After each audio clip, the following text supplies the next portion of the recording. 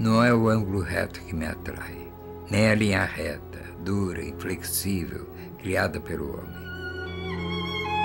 O que me atrai é a curva livre e sensual.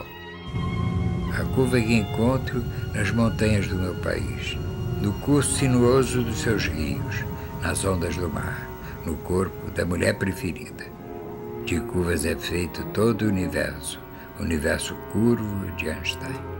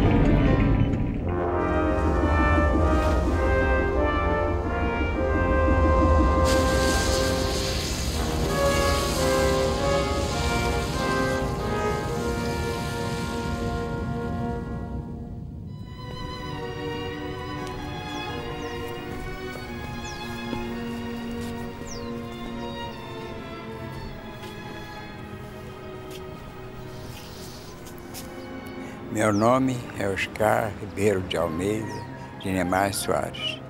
Me chamo de Oscar Niemeyer. Não sei porquê.